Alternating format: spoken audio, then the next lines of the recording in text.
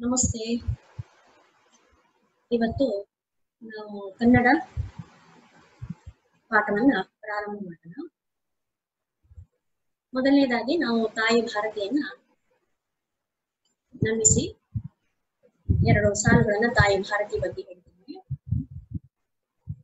ತಾಯಿ ಭಾರತೀಯ ಪಾದ ಪದ್ಮಗಳ ಪೂಜಿಸೋಣ ಬನ್ನಿ.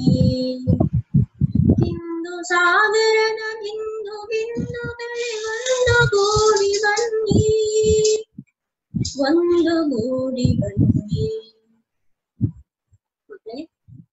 ಯಾವತ್ತು ನಮಗೆ ರಾಷ್ಟ್ರ ಪ್ರೇಮ ಎನ್ನುವುದು ಬಹಳ ಮುಖ್ಯ ನಾವೆಲ್ಲರೂ ನಮ್ಮ ನಮ್ಮ ಭಾರತ ಮಾತೆಯನ್ನ ಸ್ತುತಿಸ್ತಾ ಇವತ್ತು ನಾನು ನಿಮಗೆ ಕನ್ನಡ ಪಾಠದಲ್ಲಿ ವ್ಯಾಕರಣಕ್ಕೆ ಸಂಬಂಧಪಟ್ಟಂತಹ ಕನ್ನಡ ವರ್ಣಮಾಲೆಯನ್ನ ವಿವರಿಸಲಿಕ್ಕೆ ಇಚ್ಛಿಸ್ತೇನೆ.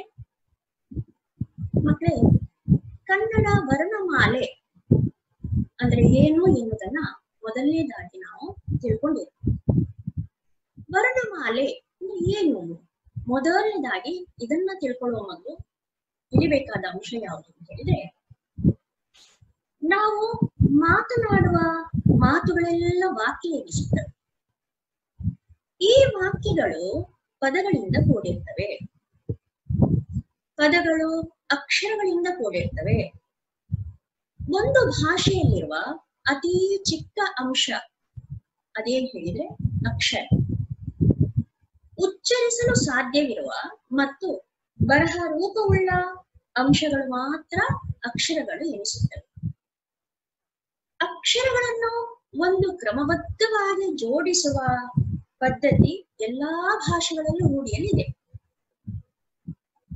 ಆದ್ರಿಂದ ನಾವೀಗ ಕನ್ನಡ ವರ್ಣಮಾಲೆ ವರ್ಣಮಾಲೆ ಅಂತ ಹೇಳಿದ್ರೆ ಕನ್ನಡ ಅಕ್ಷರಗಳ ಕ್ರಮಬದ್ಧ ಜೋಡಣೆ ಎನ್ನುವುದೇ ಕನ್ನಡ ವರ್ಣಮಾಲೆಯಾಗಿದೆ.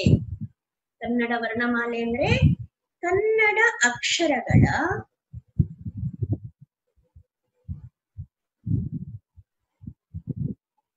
ಕನ್ನಡ ಅಕ್ಷರಗಳ ಕ್ರಮಬದ್ಧ ಜೋಡಣೆ. ಇದನ್ನು ವರ್ಣಮಾಲೆ ಅಂತ ಕರೀತಾರೆ. ವರ್ಣಮಾಲೆ ಅಂತ ಕರೀತಾರೆ. ಕನ್ನಡ ವರ್ಣಮಾಲೆಯಲ್ಲಿ ಒಟ್ಟಿಗೆ ನಲವತ್ತೊಂಬತ್ತು ಅಕ್ಷರಗಳಿವೆ. ನಲವತ್ತ ಒಂಬತ್ತು ಅಕ್ಷರಗಳಿವೆ ಈ ನಲವತ್ತೊಂಬತ್ತು ಅಕ್ಷರಗಳಲ್ಲಿ ಬೇರೆ ಬೇರೆ ವಿಧಗಳಾಗಿ ಇವೆ. ಅವುಗಳನ್ನ ಸ್ವರಗಳು, ವ್ಯಂಜನಗಳು ಅಂತ ಹೇಳಿ ವಿಭಾಗ ಮಾಡಿದ್ದಾರೆ. ಸ್ವರಗಳು, ಸ್ವರಗಳಲ್ಲಿ ಹ್ರಸ್ವ ಸ್ವರ ದೀರ್ಘ ಸ್ವರ ಮತ್ತು ಯೋಗವಾಹ ಎಂಬ ವಿಧಗಳಿವೆ. ಈಗ ಕ್ರಮವಾಗಿ ಒಂದೊಂದನ್ನೇ ಕಲಿತಾ ಹೋಗು. ಮೊದಲು ಸ್ವರಗಳು.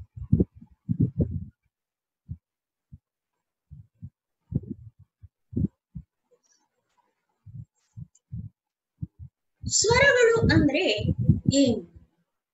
ಸ್ವರಗಳು ಅಂತ ಹೇಳಿದ್ರೆ ಸ್ವತಂತ್ರವಾಗಿ ಉಚ್ಚರಿಸಲು ಸಾಧ್ಯವಾಗುವ ಅಕ್ಷರಗಳನ್ನು ಸ್ವರಗಳು ಎನ್ನುತ್ತಾರೆ. ಸ್ವತಂತ್ರವಾಗಿ ಉಚ್ಚರಿಸಲು ಸಾಧ್ಯವಾಗುವ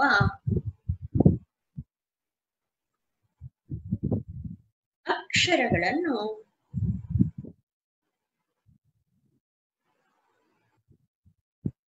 ಸ್ವರಗಳು ಎನಿಸುತ್ತವೆ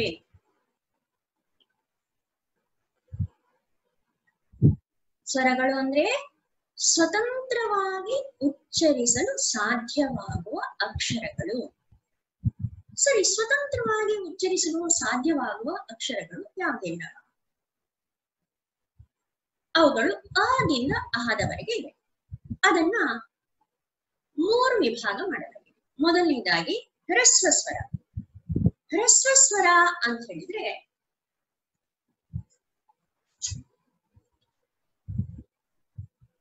ಒಂದು ಮಾತ್ರ ಕಾಲದಲ್ಲಿ ಉಚ್ಚರಿಸಲ್ಪಡುವಂತಹ ಸ್ವರಗಳು.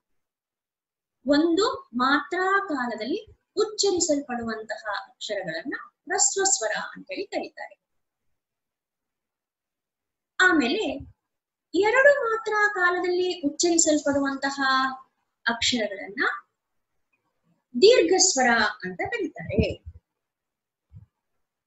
ಹ್ರಸ್ವ ಸ್ವರ ಮತ್ತು ದೀರ್ಘ ಸ್ವರ ಈಗ ಹ್ರಸ್ವ ಸ್ವರಗಳು ಯಾವುದಿಲ್ಲ ಅಂತ ಹೇಳಿ ನೋಡುವ. ಒಂದು ಮಾತ್ರ ಕಾಲದಲ್ಲಿ ಉಚ್ಚರಿಸಲ್ಪಡುವಂತಹ ಅಕ್ಷರಗಳು ಅವುಗಳು ಹ್ರಸ್ವ ಸ್ವರ ಅಂತ ಕರೀತಾರೆ. ಮೊದಲನೇದು ಹ್ರಸ್ವ ಸ್ವರ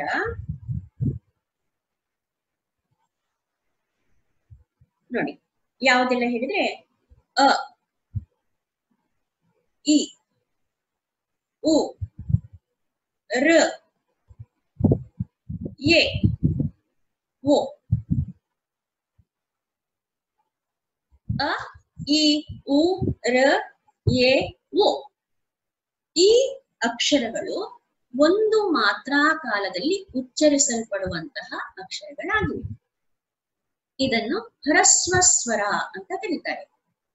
ನೋಡಿ, ಈಗ ನಾವು ಅದನ್ನ ಉಚ್ಚರಿಸುವಾಗ ನೋಡಿ. ಅ, ಇ, ಉ, ರ ಎ ಓ ಅಂತ ಉಚ್ಚರಿಸ್ತೇವೆ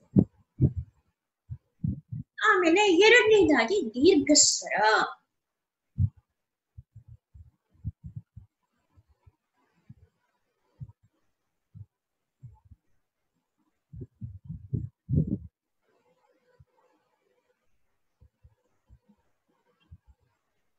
ದೀರ್ಘ ಸ್ವರ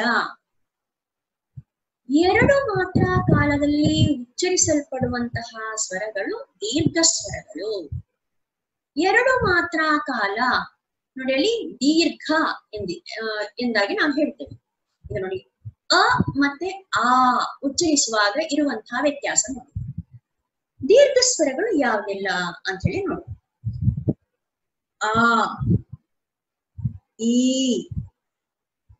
ಊ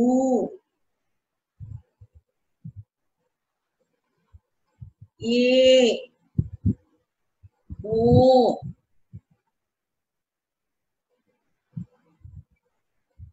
ಐ ಮತ್ತು ಔ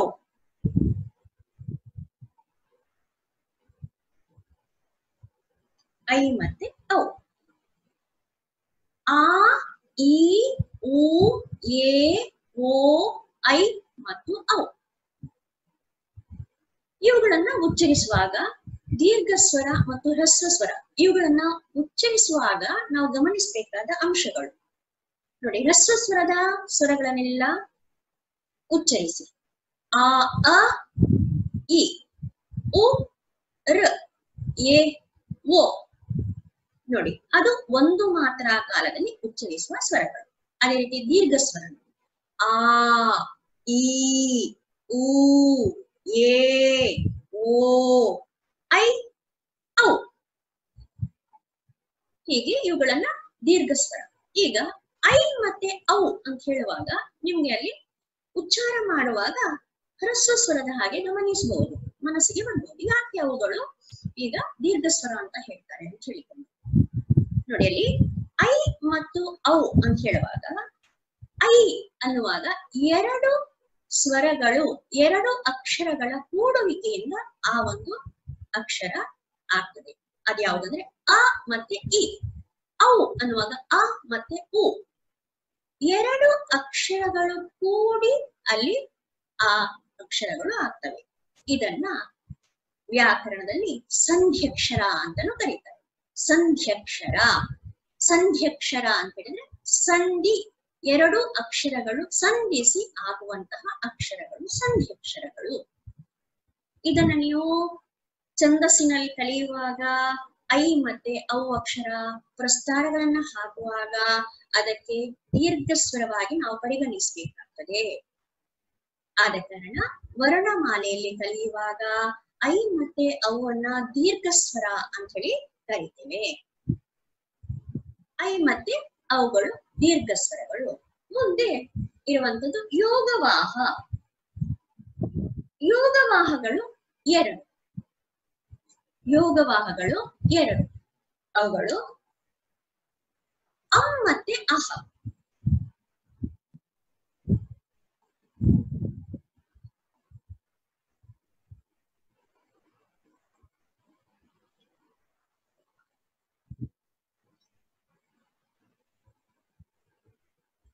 ಅನುಸ್ವಾರ ಮತ್ತು ವಿಸರ್ಗ ಅಂತ ಕರೀತಾರೆ. ಅನುಸ್ವಾರ ಮತ್ತು ವಿಸರ್ಗ ಅಂತ ಅವುಗಳನ್ನು ಕರೀತಾರೆ.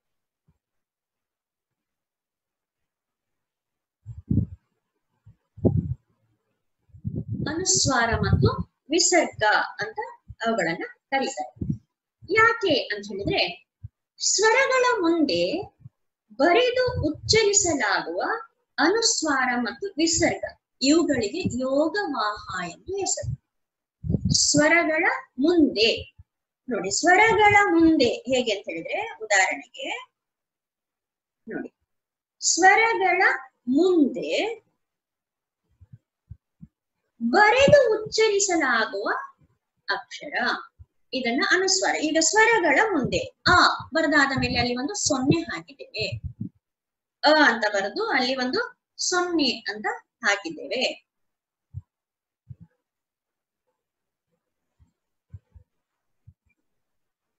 ಸೊನ್ನೆ ಹಾಕಿದ್ದೇವೆ.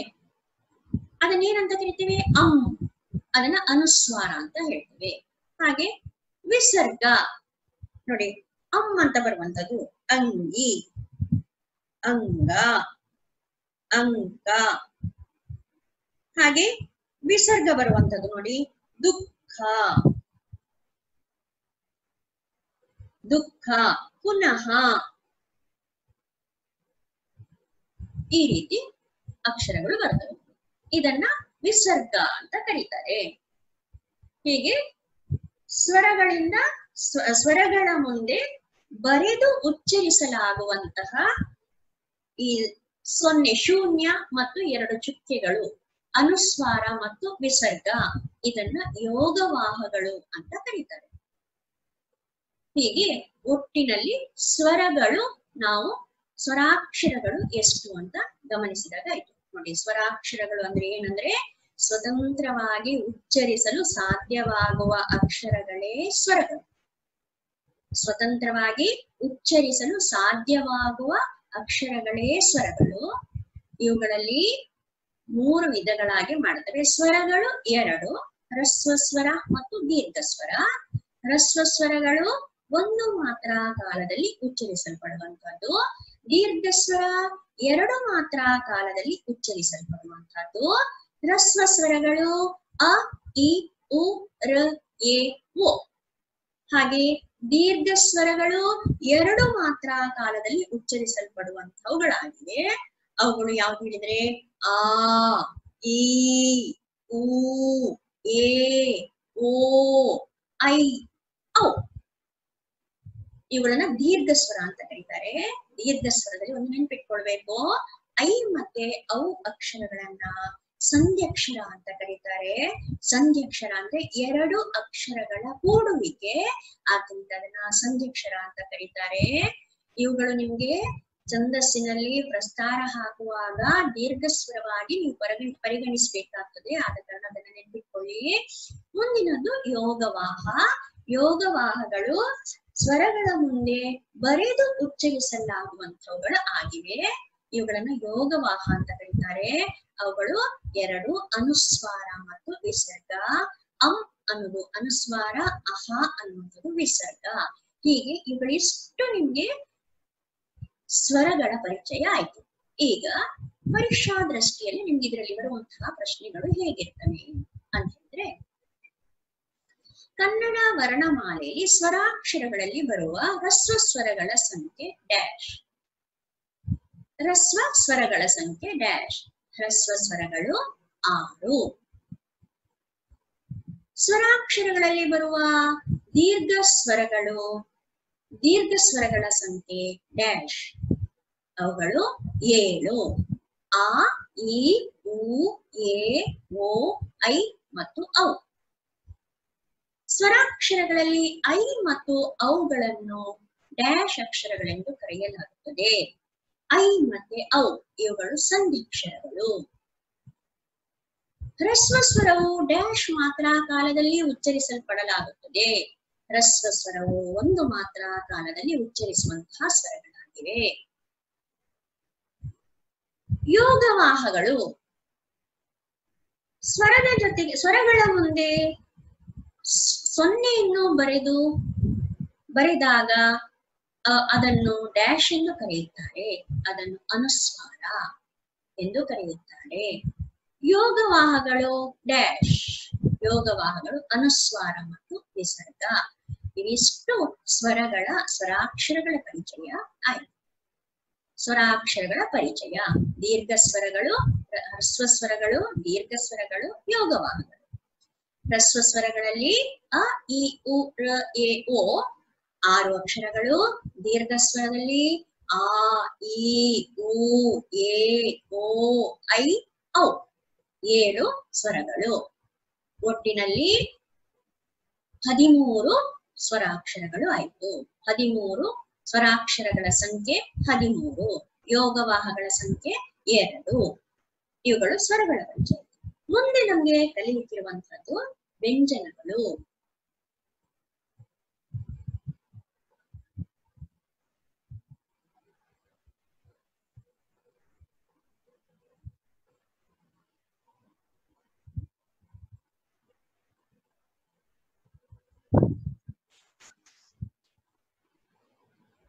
ಸ್ವರಗಳ ಸಹಾಯದಿಂದ ಮಾತ್ರ ಉಚ್ಚಾರ ಮಾಡಲಾಗದ ಅಕ್ಷರಗಳನ್ನು ವ್ಯಂಜನಗಳೆಂದು ಕರೆಯುತ್ತಾರೆ.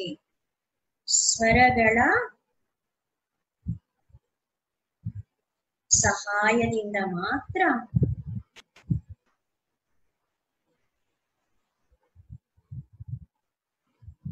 ಉಚ್ಚರಿಸಲಾಗದ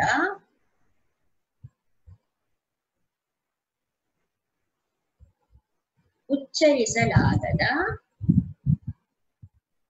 ಅಕ್ಷರಗಳನ್ನು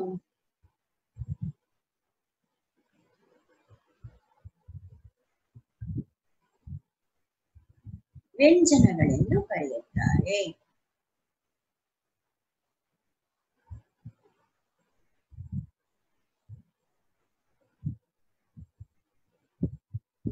ಕರೆಯುತ್ತಾರೆ.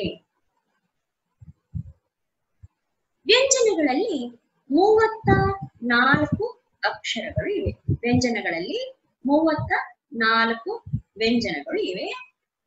ಅವುಗಳನ್ನ ಎರಡು ರೀತಿಯಲ್ಲಿ ವರ್ಗೀಕರಣ ಮಾಡಲಾಗಿದೆ.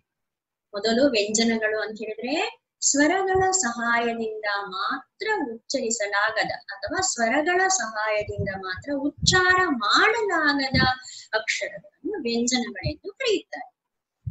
ಇವುಗಳಲ್ಲಿ ಒಟ್ಟಿಗೆ ಮೂವತ್ನಾಲ್ಕು ಅಕ್ಷರಗಳಿವೆ. ಮೂವತ್ನಾಲ್ಕು ಅಕ್ಷರಗಳಿವೆ.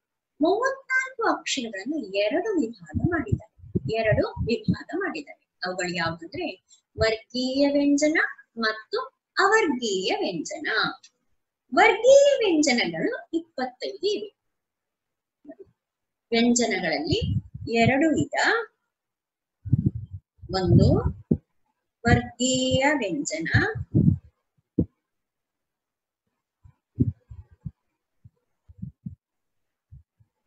ಎರಡನೇದು ಅವರ್ಗೀಯ ವ್ಯಂಜನ.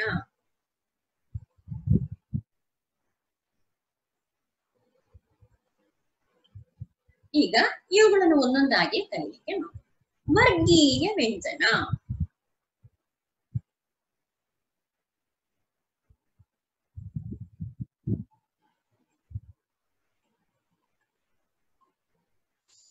ನೋಡಿ, ಆ ಹೆಸರೇ ಹೇಳ್ತದೆ, ವರ್ಗೀಯ, ವರ್ಗ. ವರ್ಗ ಅಂದ್ರೆ ಗುಂಪು. ವರ್ಗೀಯ ವ್ಯಂಜನದಲ್ಲಿ ಇಪ್ಪತ್ತೈದು ಅಕ್ಷರಗಳ ವರ್ಗಗಳಾಗಿವೆ. ಪ್ರತಿ ಸಾಲಿನಲ್ಲಿ ಐದೈದು ಅಕ್ಷರಗಳ ಗುಂಪು ಇದೆ. ವರ್ಗೀಯ ವ್ಯಂಜನ ಅಂತ ಹೆಸರು ಬರ್ಲಿಕ್ಕೆ ಕಾರಣ ಅದನ್ನ ಐದೈದು ಅಕ್ಷರಗಳ ವರ್ಗಗಳಾಗಿ ವಿಂಗಡಿಸಲಾಗಿದೆ. ಐದೈದು ಅಕ್ಷರಗಳ ವಿಂಗಡಣೆ ಅಲ್ಲಿದೆ. ಯಾವುದೆಲ್ಲ? ನೋಡಿ ಮೊದಲನೇದಾಗಿ ಕ ಖ ಗ ಖ ಮ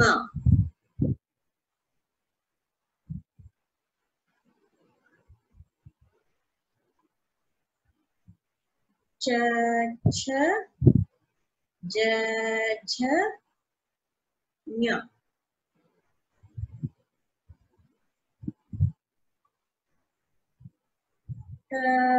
ಟ ಠ ಡ ಢ ಣ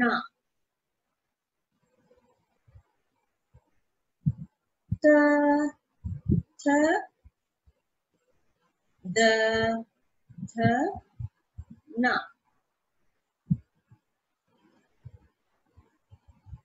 ಪ ಫ ಬ ಭ ಮ ಈ ರೀತಿ ಇಲ್ಲಿ ಒಟ್ಟಿಗೆ ಇಪ್ಪತ್ತೈದು ಅಕ್ಷರಗಳಿವೆ.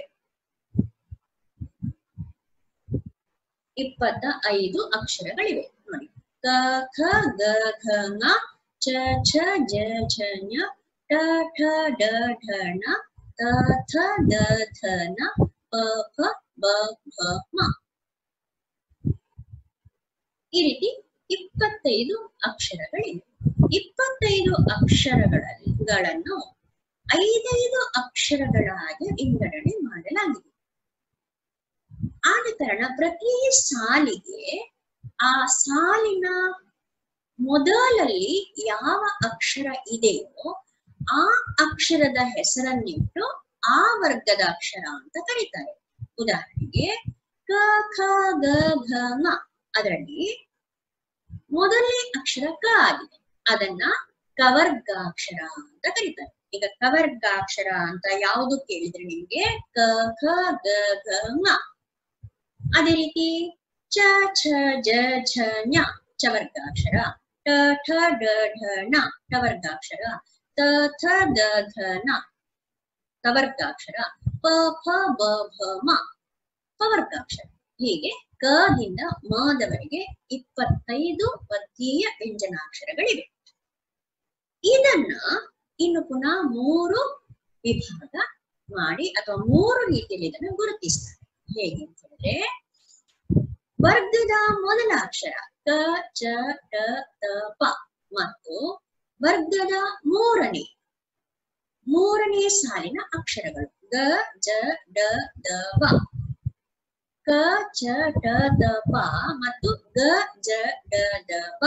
ಇವುಗಳನ್ನ ಅಲ್ಪ ಪ್ರಾಣ ಅಂತ ಕರೀತಾರೆ.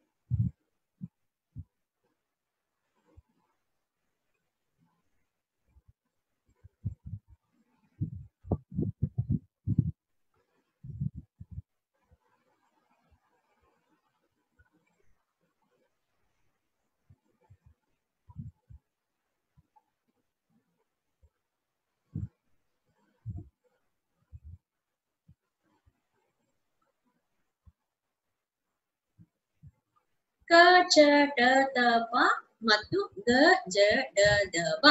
ಇವುಗಳು ಅಲ್ಪ ಪ್ರಾಣ. ಪ್ರಾಣ ಅಂದ್ರೆ ಉಸಿರು ಸ್ವಲ್ಪ.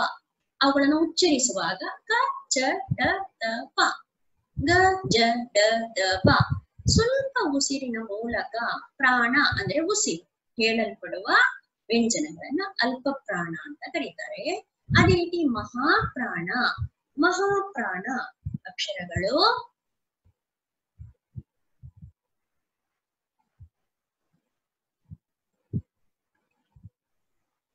Mahana K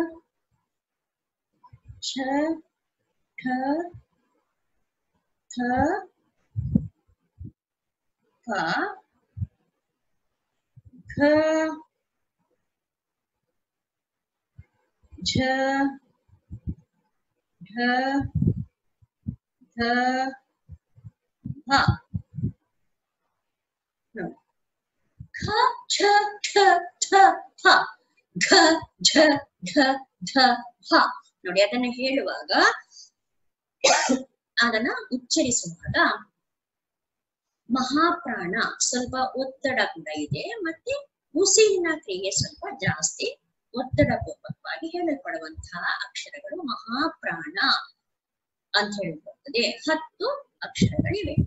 ಹೀಗೆ ಕ ಚ ಟ ತ ಪ ಗ ಜ, ಡ, ದ ಅಲ್ಲಿ ಹತ್ತು ಅಕ್ಷರಗಳು. ಆಮೇಲೆ ಖ ಛ, ಠ, ಥ ಫ ಗ, ಝ, ಢ, ದ ಇಲ್ಲಿ ಹತ್ತು ಅಕ್ಷರಗಳು. ಅಲ್ಪ ಪ್ರಾಣ ಮತ್ತು ಮಹಾಪ್ರಾಣ ಅಂತೇಳಿ ವಿಂಗಡಣೆ ಆಯ್ತು ಮತ್ತೆ ಕೊನೆಯ, ಸಾಲಿನ ಕೊನೆಯ ಅಕ್ಷರಗಳಿವೆ. ಕೊನೆಯ ಅಕ್ಷರಗಳು. ಕವರ್ಗದ, ಚವರ್ಗದ, ಟವರ್ಗದ, ತವರ್ಗದ, ಪವರ್ಗದ, ಸಾಲಿನ ಕೊನೆಯ ಅಕ್ಷರಗಳು ಏನಿವೆ? ಅದನ್ನ ಅನುನಾಸಿಕ ಅಂತೇಳಿ ಹೇಳ್ತಾರೆ. ಅನುನಾಸಿಕ ಅಂತೇಳಿ ಹೇಳ್ತಾರೆ. ಅನುನಾಸಿಕ ಅಕ್ಷರಗಳು ಯಾವುದೆಲ್ಲ ನೋಡಿ? ಅನುನಾಸಿಕ ಪ್ರತಿ ವರ್ಗದ ಕೊನೆಯ ಅಕ್ಷರಗಳು, ಪ್ರತಿ ಸಾಲಿನ ಕೊನೆಯ ಅಕ್ಷರಗಳು. ನ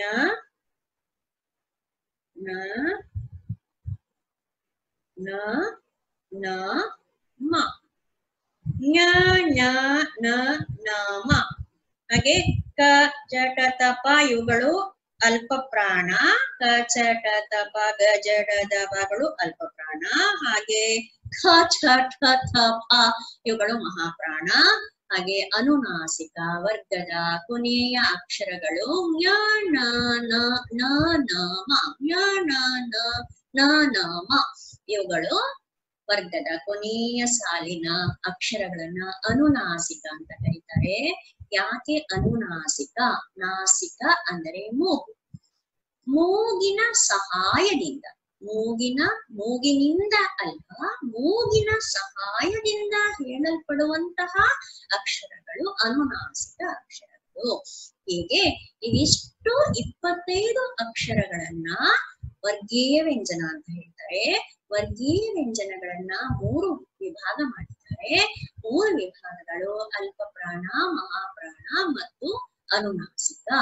ಅಲ್ಪ ಪ್ರಾಣ ಅಲ್ಪ ಪ್ರಾಣ ಅಕ್ಷರಗಳು ಕ, ಚ, ಟ ಪ ಮತ್ತು ಗ, ಜ, ಡ ಪ ಹಾಗೂ ಮಹಾಪ್ರಾಣ ಅಕ್ಷರಗಳು ಖ ಛ ಠ ಥ ಪ ಹಾಗೂ ನಾಲ್ಕನೇ ಸಾಲಿನ ಘ ಝ ಢ ಢ ಭ ಇವುಗಳು ಇವುಗಳನ್ನ ಮಹಾಪ್ರಾಣಾಕ್ಷರ ಅಂತ ಕರೀತಾರೆ.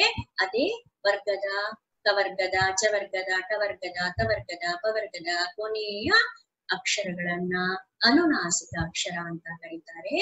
ಹೀಗೆ ಒಟ್ಟಿನಲ್ಲಿ ವರ್ಗೀಯ ವ್ಯಂಜನಾಕ್ಷರಗಳ ಸಂಖ್ಯೆ ಇಪ್ಪತ್ತೈದು. ಇಪ್ಪತ್ತೈದು ವರ್ಗೀಯ ವ್ಯಂಜನಾಕ್ಷರಗಳು. ಇದನ್ನ ನಿಮ್ಗೆ ಪರೀಕ್ಷಾ ದೃಷ್ಟಿಯಲ್ಲಿ ಈ ವ್ಯಾಕರಣದಿಂದ ಕೇಳಲ್ಪಡುವ ಪ್ರಶ್ನೆ ಈ ರೀತಿ ಇರ್ತದೆ. ಹೇಗೆ ಹೇಳಿದ್ರೆ, ವರ್ಗೀಯ ವ್ಯಂಜನಾಕ್ಷರಗಳ ಸಂಖ್ಯೆ. ಇಪ್ಪತ್ತ ಐದು. ಎರಡನೇದಾಗಿ, ಕವರ್ಗಾಕ್ಷರದಲ್ಲಿ ಕವರ್ಗ, ಕ, ಕವರ್, ಕ ಗ ಕ ಗ ಚ ಜ ಝ. ಇವುಗಳಲ್ಲಿ ಗುಂಪಿಗೆ ಸೇರದ ಅಕ್ಷರ. ಇವುಗಳಲ್ಲಿ ಗುಂಪಿಗೆ ಸೇರದ ಅಕ್ಷರ. ಕ, ಗ, ಚ, ಛ. ಹೀಗೆ ಕೊಟ್ರೆ ಇಲ್ಲಿ ಗುಂಪಿಗೆ ಸೇರದು. ಮೊದಲನೇದಾಗಿ ನೀವು ನೋಡ್ಕೊಳ್ಬೇಕು. ಮೂರು ಅಕ್ಷರಗಳು ಅಲ್ಪಪ್ರಾಣ ಆಗಿದ್ರೆ ಒಂದು ಅಕ್ಷರ ಮಹಾಪ್ರಾಣ ಆಗಿದ್ದಿರಬಹುದು ಅಥವಾ ಮೂರು ಅಕ್ಷರಗಳು ಮಹಾಪ್ರಾಣ ಕೊಟ್ಟು, ಒಂದು ಅಕ್ಷರ ಅಲ್ಪ ಪ್ರಾಣ ಕೊಡಬಹುದು.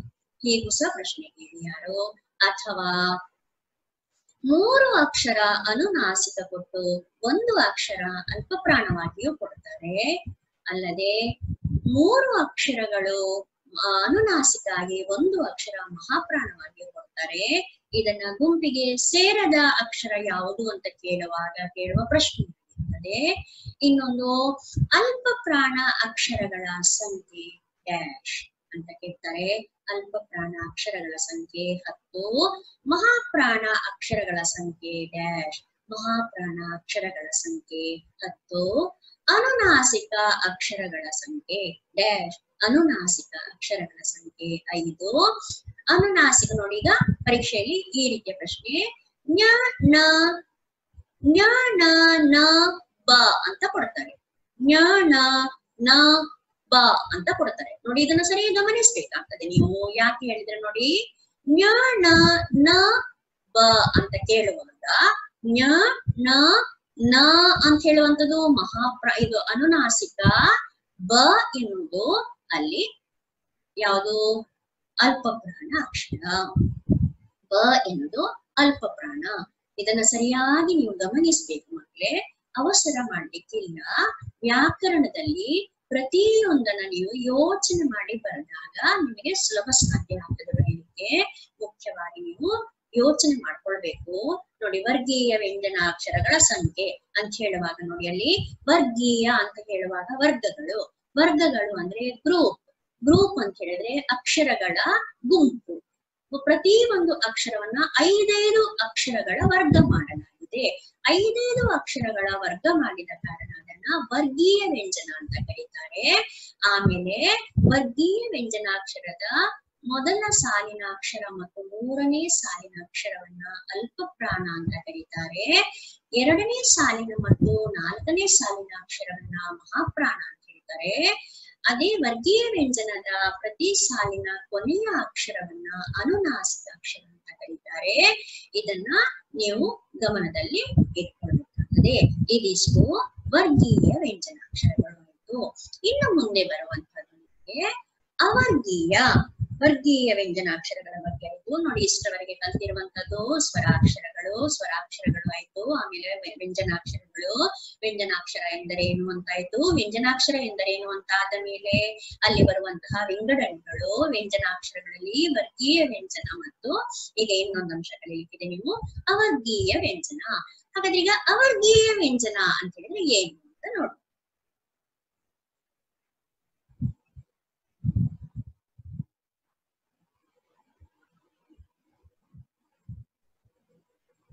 ಅವರ್ಗೀಯ ವ್ಯಂಜನ. ಅವರ್ಗೀಯ. ನೋಡಿ ಮಕ್ಕಳೇ, ಅಲ್ಲಿ ಹೆಸರೇ ಹೇಳಿದಾಗೆ ಗಮನಿಸ್ತೇವೆ. ಅವರ್ಗೀಯ ವರ್ಗವಲ್ಲದ ವರ್ಗೀಯ, ವರ್ಗವಾಗಿರುವಂತ. ಅವರ್ಗೀಯ, ವರ್ಗ ಅಲ್ಲದ. ಆ ರೀತಿ ಗಮನಿಸ್ತೇವೆ. ಗೊತ್ತಾಯ್ತಲ್ವಾ? ಈಗ ಅವರ್ಗೀಯ, ವರ್ಗವಲ್ಲದ ಅಕ್ಷರಗಳು. ನೀವೀಗ ಕದಿಂದ ಳಾದವರೆಗೆ ಅಕ್ಷರವನ್ನ ಕಲಿತೀರಿ. ಮೂವತ್ನಾಲ್ಕು ಅಕ್ಷರ ಅಂತ ಹೇಳ್ತೀರಿ. ಆ ಮೂವತ್ನಾಲ್ಕು ಅಕ್ಷರದಲ್ಲಿ ನೋಡಿ, ಇಪ್ಪತ್ತೈದು ಅಕ್ಷರ ವ್ಯಂಜನ ಆಯ್ತು. ಹಾಗಾದ್ರೆ ಉಳಿದಿರುವ ಅಕ್ಷರಗಳು ಯಾವ್ದೆಲ್ಲ? ಅದನ್ನ ನಾವೀಗ ಗಮನಿಸ್ಬೇಕು. ನೋಡಿ, ಯಾವ್ದೆಲ್ಲ ಹೇಳಿದ್ರೆ, ಯ, ರ, ಲ, ವ, ಶ ಯರ ಲವ ಶ ಶ, ಸ, ಹ ಹ, ಳ. ಯ, ರ, ಲ ವ ಶ ಶ, ಸ, ಹ, ಳ. ಒಟ್ಟಿಗೆ ಎಷ್ಟು ಅಕ್ಷರಗಳಿವೆ? ಯ, ರ, ಲ ಬ ಶ ಶ, ಸ, ಹ, ಳ. ಒಂಬತ್ತು ಅಕ್ಷರಗಳಿವೆ. ಈ ಒಂಬತ್ತು ಅಕ್ಷರಗಳನ್ನ ಅವರ್ಗೀಯ. ನೋಡಿ, ಅಲ್ಲನ್ನೇ ವರ್ಗ ಮಾಡಿಕೊಂಡಿಲ್ಲ. ನೋಡಿ, ಅಲ್ಲಿ ವರ್ಗೀಯ ವ್ಯಂಜನದಲ್ಲಿ ಐದೈದು ಅಕ್ಷರಗಳ ವರ್ಗ ಮಾಡಿದ್ದಾರೆ, ಅಲ್ವಾ? ಇಲ್ಲಿ ನೋಡಿ ಇಲ್ಲಿ ಒಂಬತ್ತು ಅಕ್ಷರ ಇದೆ. ಒಂಬತ್ತು ಅಕ್ಷರವನ್ನ ವರ್ಗ ಮಾಡಲಿಲ್ಲ. ಬದಲಾಗಿ ಅದನ್ನ ಒಟ್ಟಿನಲ್ಲಿ ಒಂಬತ್ತು ಅಕ್ಷರಗಳನ್ನ ಯರ ಲವ ಶೇಷ ಸಹಳ ಅಂತ ಹೇಳಿದ್ದಾರೆ. ಆದ ಕಾರಣ ಅದನ್ನ ಅವರ್ಗೀಯ ವರ್ಗವಲ್ಲದ ಅಂತ ಹೇಳಿ ಕರೆಯಲಾಗಿದೆ. ಈಗ ಪರೀಕ್ಷೆಯಲ್ಲಿ ಅವರ್ಗೀಯ ವ್ಯಂಜನಾಕ್ಷರಗಳ ಸಂಖ್ಯೆ ಡ್ಯಾಶ್ ಅವರ್ಗೀಯ ವ್ಯಂಜನಾಕ್ಷರಗಳ ಸಂಖ್ಯೆ ಒಂಬತ್ತು. ಒಂಬತ್ತು. ಹೀಗೆ ಒಟ್ಟಿನಲ್ಲಿ ಈಗ ವ್ಯಂಜನಾಕ್ಷರಗಳು ಎಷ್ಟು ಒಟ್ಟಿನಲ್ಲಿ ವ್ಯಂಜನಾಕ್ಷರಗಳು ಮೂವತ್ನಾಲ್ಕು ಆಯ್ತು. ಮೂವತ್ನಾಲ್ಕು ಪ್ಲಸ್ ಮೊದಲು ಕಲ್ತಿರುವಂತಹ ಸ್ವರಗಳು, ಸ್ವರಗಳ ಸಂಖ್ಯೆ ಹದಿಮೂರು. ಅಲ್ವಾ? ಒಟ್ಟಿಗೆ ಎಷ್ಟು ಅಕ್ಷರಗಳಾಯ್ತು? ಒಟ್ಟಿಗೆ ನಿಮಗೆ ನಲವತ್ತ ಒಂಬತ್ತು ಅಕ್ಷರಗಳು ಆಯ್ತು. ನಲವತ್ತ ಒಂಬತ್ತು ಅಕ್ಷರಗಳು ಒಟ್ಟಿನಲ್ಲಿ ವರ್ಣಮಾಲೆಯಲ್ಲಿ ಇದೆ ವರ್ಣಮಾಲೆಯಲ್ಲಿರುವ ಒಟ್ಟು ಅಕ್ಷರಗಳ ಸಂಖ್ಯೆ ನಲವತ್ತ ಒಂಬತ್ತು. ನಲವತ್ತೊಂಬತ್ತು ಅಕ್ಷರಗಳು ವರ್ಗೀಯ ವ್ಯಂಜನದಲ್ಲಿ ಇದೆ. ಆದ ಕಾರಣ ಎಲ್ಲಿಯೂ ಕೂಡ ಗೊಂದಲ ಮಾಡ್ಕೊಳ್ಬೇಡಿ ಮಕ್ಕಳೇ. ಎಲ್ಲಿಯೂ ಗೊಂದಲ ಮಾಡ್ಕೊಳ್ಬೇಡಿ. ಇದರಿಂದ ಪರೀಕ್ಷೆಗೆ ಪ್ರಶ್ನೆ ಇದ್ದೇ ಇದೆ. ವರ್ಣಮಾಲೆಯಿಂದ ಪ್ರಶ್ನೆಗಳು ಬಂದೇ ಬರ್ತವೆ. ಆದ ಕಾರಣ ಅಕ್ಷರಗಳ ಪರಿಚಯ ಪ್ರತಿ ಒಂದನ್ನು ಕ್ರಮ ಪ್ರಕಾರವಾಗಿ ಯೋಚಿಸ್ತಾ ಹೋಗಿ. ಮೊದಲು ಸ್ವರಾಕ್ಷರಗಳು, ಸ್ವರಾಕ್ಷರಗಳಲ್ಲಿರುವಂತಹ ವಿಧಗಳು, ಅವುಗಳು ಹ್ರಸ್ವ ಸ್ವರ ದೀರ್ಘ ಸ್ವರ ಆಮೇಲೆ ಯೋಗವಾಹ, ಆಮೇಲೆ ಪರೀಕ್ಷೆಯಲ್ಲಿ ಕೇಳುವಂತದ್ದು ಹ್ರಸ್ವ ಸ್ವರಗಳ ಸಂಖ್ಯೆ ಹ್ರಸ್ವ ಸ್ವರಗಳು ಯಾವುದಿಲ್ಲ? ಅ, ಇ, ಉ ಎ, ಓ. ಆಮೇಲೆ ದೀರ್ಘ ಸ್ವರಗಳು ಆ, ಇ, ಉ, ಎ, ಓ, ಐ, ಔ. ಐ ಮತ್ತು ಅವುಗಳನ್ನು ಏನೆಂದು ಕರೆಯುತ್ತಾರೆ? ಐ ಮತ್ತು ಅವುಗಳು ಸಂಧ್ಯಕ್ಷರಗಳು ಆಮೇಲೆ ಯೋಗವಾಹಗಳು ಅನುಸ್ವಾರ ಮತ್ತು ವಿಸರ್ಗ ಇವುಗಳನ್ನು ಏನೆಂದು ಕರೆಯುತ್ತಾರೆ? ಅನುಸ್ವಾರ ಮತ್ತು ವಿಸರ್ಗ ಇವುಗಳನ್ನ ಯೋಗವಾಹ ಎಂದು ಕರೆಯುತ್ತಾರೆ. ಇದಿಷ್ಟು ನಿಮಗೆ ಸ್ವರಾಕ್ಷರಗಳ ಪರಿಚಯ ಆಯಿತು. ಮುಂದಿನದ್ದು ವ್ಯಂಜನಗಳು. ಇವತ್ತು ಕಲ್ತಿರುವಂತದ್ದು ಪುನಃ ಒಂದ್ಸಲ ಹೇಳುವಂಥದ್ದು ವ್ಯಂಜನಗಳು ಸ್ವರಗಳ ಸಹಾಯದಿಂದ ಮಾತ್ರ ಉಚ್ಚರಿಸಲಾಗದ, ಉಚ್ಚರಿಸಲ್ಪಡದ, ಉಚ್ಚರಿಸಲು ಆಗದಂತಹ ಅಕ್ಷರಗಳನ್ನು ಅಲ್ಲಿ ವ್ಯಂಜನಗಳು ಎಂದು ಕರೆಯುತ್ತಾರೆ. ವರ್ಗೀಯ ವ್ಯಂಜನಗಳಲ್ಲಿ ವರ್ಗೀಯ ವ್ಯಂಜನ, ಅವರ್ಗೀಯ ವ್ಯಂಜನ ಅಂತ ಹೇಳುವಂತಹ ವಿಧಾನಗಳಿವೆ ವರ್ಗೀಯ ವ್ಯಂಜನಗಳು ಇಪ್ಪತ್ತೈದು. ಅವುಗಳನ್ನು ಕ ದಿಂದ ಮದವರೆಗೆ ಇರುವಂತಹ ಇಪ್ಪತ್ತೈದು ಅಕ್ಷರಗಳನ್ನ ವರ್ಗೀಯ ವ್ಯಂಜನ ಅಂತ ಕರೀತಾರೆ. ವರ್ಗೀಯ ವ್ಯಂಜನಗಳಲ್ಲಿ ಪುನಃ ಮೂರು ವಿಭಾಗ ಅವುಗಳು. ಯಾವ್ದು ಹೇಳಿದ್ರೆ ಅಲ್ಪಪ್ರಾಣ, ಮಹಾಪ್ರಾಣ ಮತ್ತು ಅನುನಾಸಿಕ. ಅಲ್ಪಪ್ರಾಣ, ಅಲ್ಲಿ ಅಲ್ಪ ಪ್ರಾಣಗಳ ಅಕ್ಷರಗಳ ಸಂಖ್ಯೆ ಹತ್ತು, ಮಹಾಪ್ರಾಣ ಅಕ್ಷರಗಳ ಸಂಖ್ಯೆ ಹತ್ತು, ಹಾಗೆ ಅನುನಾಸಿಕ ಅಕ್ಷರಗಳು ಐದು ಆಗಿರ್ತವೆ. ಐದು ಅನುನಾಸಿಕ ಅಕ್ಷರಗಳು ಆಗಿರ್ತವೆ. ಆಮೇಲೆ ಅವರ್ಗೀಯ ವ್ಯಂಜನಾಕ್ಷರಗಳು. ಅವರ್ಗೀಯ ವ್ಯಂಜನಾಕ್ಷರಗಳು ವರ್ಗವಲ್ಲದ್ದು ಅವರ್ಗೀಯ ವರ್ಗ ಮಾಡಲಾಗದ್ದು ಅವರ್ಗೀಯ ವ್ಯಂಜನ. ಅವರ್ಗೀಯ ವ್ಯಂಜನಾಕ್ಷರಗಳು ಒಂಬತ್ತಿವೆ. ಹೀಗೆ ಒಟ್ಟಿನಲ್ಲಿ ಸ ವ್ಯಂಜನಾಕ್ಷರಗಳು ಮೂವತ್ನಾಲ್ಕು ಮತ್ತು ಅಲ್ಲಿ ಸ್ವರಗಳು. ಹೀಗೆ ಒಟ್ಟಿನಲ್ಲಿ ಕನ್ನಡದಲ್ಲಿ ವರ್ಣ ಕನ್ನಡ ವರ್ಣಮಾಲೆಯಲ್ಲಿ ನಲವತ್ತ ಒಂಬತ್ತು ಅಕ್ಷರಗಳಿವೆ. ಈಗ ಇದು ಇವತ್ತಿನ ಈ ವರ್ಣಮಾಲೆಯ ಕುರಿತು ಇರುವಂತಹ ಪರಿಚಯ ನಿಮಗೆ ಆಗಿದೆ ಈಗ ನಿಮ್ಮ ಪಾಠದಲ್ಲಿ ಇರುವಂತಹ ಒಂದು ಪದ್ಯ ಭಾಗ ಪರೀಕ್ಷೆಗೆ ಬೇಕಾಗುವಂತಹ ಪರೀಕ್ಷೆಯಲ್ಲಿ ಬೇಕಾದ ಸಂಕಲ್ಪ ಗೀತೆಯಿಂದ ಬರುವಂತಹ ಒಂದು ಪದ್ಯ ಭಾಗದ ಒಂದು ತುಣುಕನ್ನ ಹೇಳ್ಬೇಕು. ಯಾವ್ದಂತ ಅದನ್ನ ಪುನಃ ನೀವು ರಿವೈಸ್ ಮಾಡ್ಬೇಕು. ಪ್ರತಿದಿನ ಒಂದೊಂದು ಪದ್ಯದ ಸಾಲು ನಾಲ್ಕು ನಾಲ್ಕು ಸಾಲುಗಳನ್ನ ಕಂಠಪಾಠಕ್ಕೆ ಇದನ್ನ ಪ್ರತಿದಿನ ಹೇಳ್ತಾ ಇರಬೇಕು. ಯಾವ್ದು ಅಂದ್ರೆ ಪದ್ಯ ಸಾಲುಗಳನ್ನ ಪುನಃ ಒಂದ್ಸಲ ನೀವು ಪ್ರತಿದಿನ ಮನೆಯಲ್ಲಿ ನಾಲ್ಕ್ ನಾಲ್ಕು ಸಾಲುಗಳನ್ನ ಹೇಳ್ತಾ ಇರಬೇಕು, ಪ್ರತಿದಿನ ಹೇಳ್ತಾ ಇರಬೇಕು, ಮತಗಳೆಲ್ಲವೂ ಪಥಗಳು ಎನ್ನುವ ಹೊಸ ಎಚ್ಚರದೊಳು ಬದುಕೋಣ, ಭಯ ಸಂಶಯದೊಳು ಕಂದಿದ ಕಣ್ಣಳು ನಾಳಿನ ಕನಸನು ಬಿತ್ತೋಣ ಮತಗಳೆಲ್ಲವೂ ಪಥಗಳು ಎನ್ನುವ ಹೊಸ ಎಚ್ಚರದೊಳು ಬದುಕೋಣ. ಭಯ ಸಂಶಯದೊಳು ಕಂದಿದ ಕಣ್ಣೊಳು ನಾಳಿನ ಕನಸನು ಬಿತ್ತೋಣ. ಹೀಗೆ ಮಕ್ಕಳೇ ಪ್ರತಿದಿನ ಅಭ್ಯಾಸ ಮಾಡ್ಕೊಳ್ಳಿ. ಈ ಅಭ್ಯಾಸದ ಜೊತೆಗೂ ಕೂಡ ನೀವು ಇನ್ನೊಂದು ಕೆಲಸ ಮಾಡ್ಬೇಕಾಗಿದೆ.